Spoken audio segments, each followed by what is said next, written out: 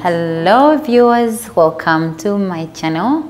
My name is Fatumah Asha. I'm a Ugandan designer. This is my very first YouTube video guys, so forgive me for any mistakes that I made here. I'm new here, so I'm going to be learning every single day. And I would love if you would tell me the content you would want me to create or the things you would want me to talk about. This is not just going to be about fashion guys, it's going to be about, um, of course, fashion first then entrepreneurship, how to create businesses out of small, small, small ideas.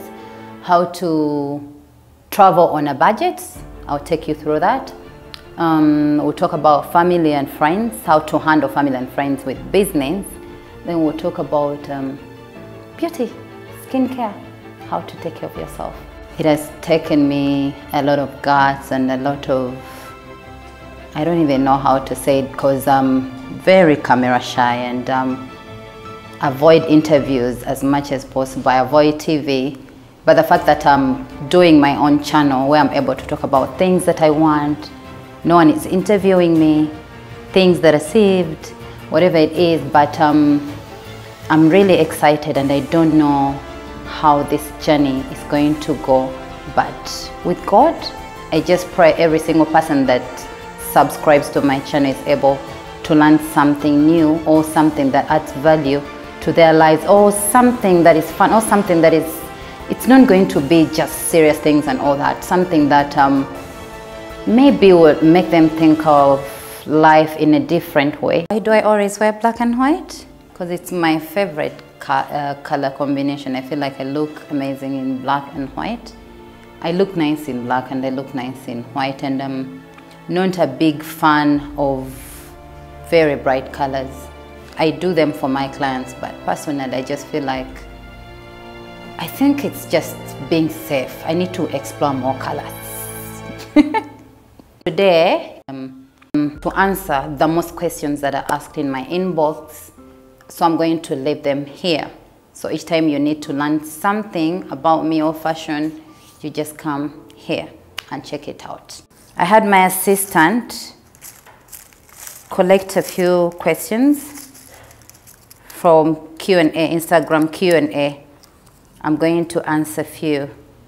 Can we see your closet, please? My personal closet? I'm going to show it to you before the year ends. But it's full of black and white, you know. How many jobs have you done in life so far? So many my very first job was a barber. I don't know if they're called barber, if they're women. Are they called barbers? I don't know. I was a barber. My very, I had my very first job when I was 14 and I used to do it over the weekend. I used to cut my friends' hair and kids at school. I used to plait hair as well. So I had like a mini salon running in the school from um, my S2 to my S6, that is what I mainly used to do to earn an extra living because I don't come from a well-off family. I had to do all those things. Then I used to adjust clothes still for a living in high school still. That was my second job. Then um, I had a small mobile boutique that I used to collect clothes during the holidays and I would sell them to kids at school or to my cousins then um, after high school, my very first job, I worked with Britannia. If you know Britannia, the company, I worked with Britannia as a salesperson with people that sell and market things. So I, I was a marketeer basically. I used to convince people to buy new products that Britannia was bringing out. Then after that, I moved to, uh, to fashion. How did you start your fashion business? Was it easy? Oh boy, it was not easy. I started my fashion business at the university during my second year in my tiny, tiny, tiny hostel room that was half bricked, half um, metallic, half wooden, because it was a garage. So, but somehow, somewhere I had to make it look nice and I had like a small bench where my clients used to sit and I used to sit on my bed and my sewing machine was on the table because I didn't have enough space to put a chair. Immediately after university, I rented a small space in town in a shop that had over five people. And I was in a tiny corner where I used to sit. I used to meet my clients there. That they could fit over my head, behind me. Yeah, it wasn't that easy, but I'm grateful for the life lessons. You have magic hands. My mom still talks about your skill. This is from Pasca, my former bride. Oh, Pasca, thank you so much. This is not a question, just someone appreciating me. Thank you, Pasca. What inspired you to do fashion? What inspired me to do fashion? Mainly, my grandmother inspired me to do fashion. She used to do most of her clothes, hand stitching actually. She used to hand stitch. So I started hand stitching when I was five. I think by the time I made seven, I had perfected my hand stitching. I can literally hand stitch a whole gown without using a sewing machine. My grandma inspired me to do fashion. Hi Asha, I greatly admire you and I would love to be mentored by you. How do I go about this? Thank you so much dear, I would love to mentor you too. I think the best thing to do is join my fashion school, Tessie Fashion School. It's located on Salama Road, just after Haki petrol station. We take in fresh students that have no knowledge about fashion. Then we take in ones that know something about fashion but want to upgrade their skill, maybe polish their skill. That takes at least six months. Then for someone that is fresh, that is just beginning in fashion, it takes at least two years. Are you married? oh. Please make more ready to wear. I love your ready to wear collections all the time. I'm going to make more ready to wear next year. Wait for it. Where do you source your fabrics from? This is the thing about fabric. It's not even where you source them from. I think it's about how you source them and um, if you know how to pick fabric, it doesn't matter where you get it from. I buy fabric from everywhere literally everywhere from Kenya, from here, from Congo, from Thailand, from Dubai, from Turkey, everywhere.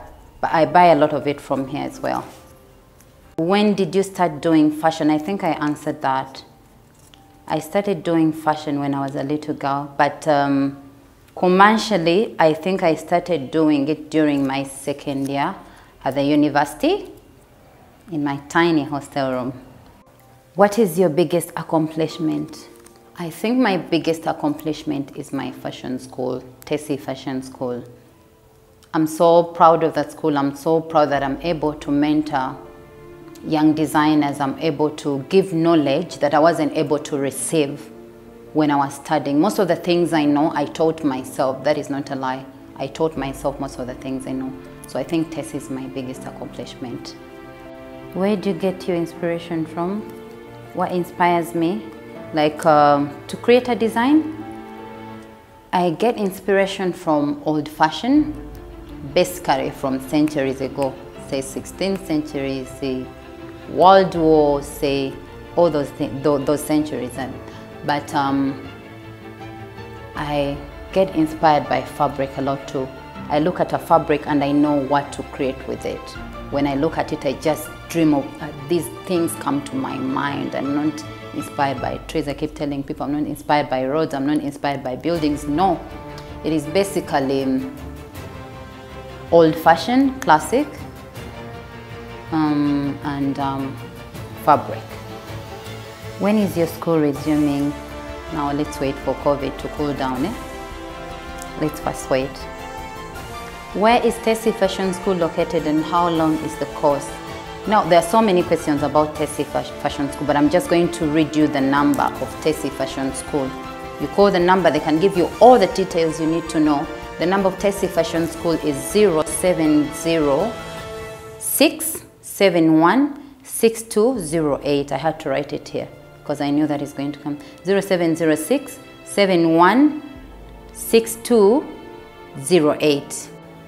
Where did you go to school? Like fashion school? High school, I went to Mariam High School. It's located in Kisasi. Then fashion, I went to Makerere University, Bachelor of Industry and Fine Arts and I majored in fashion. I'm an upcoming designer. Kindly give me a piece of advice. The piece of advice I would give an upcoming designer do not be scared to start. Do not be scared to approach people. Don't feel like you know too much, like you can't approach people. Approach people and tell them, I would love to make this for you. Maybe this is a person that has a platform. This is a person that is going to uh, give your clothes exposure. This is the person that is going to take you somewhere. So approach them. Don't wait for them to approach you. Even if it's your friends, not even just celebrities and all that. You can tell them, I want to make this for you. Then you tell them the amount of money you will charge them. And another thing, don't give out things for free. Never give out anything for free. Don't give out things on credit. Your friends will always pay, oh, sorry, your friends will always say, I'm going to pay you, and they will not pay. And do you know what happens after that? They will not come back to you. They will go to someone else to make their clothes. Another thing I'll tell an upcoming designer, be your own self. Don't look at, let the internet not change who you are. Be your own person. Be creative enough. Don't look at things and just feel like I have to do this just because everyone is doing this, I have to do that. And another thing I'll tell you, pray and pray and pray, prayer works. There are so many questions in here, but I think um, this is going to be my last. What would you be if you were not a designer? Ah, I think I'll be a designer in my next life too. but what would I be if I were not a designer? I think a surgeon. I wanted to be a surgeon so badly. In high school, I remember I used to do sciences very well. But fashion called me. It's my calling. To every single person that loves fashion, I'm going to teach you a few things about fashion. I'm going to teach you how to make simple cuts to styling them. So subscribe, tell a friend to subscribe, tell a friend to tell a friend to subscribe. Thank you so much to every single person that was able to watch this today and tomorrow, everyone that is coming to watch in the future. Thank you so much. Please don't forget to subscribe, hit the subscription button below. Thank you so very much. Bye-bye.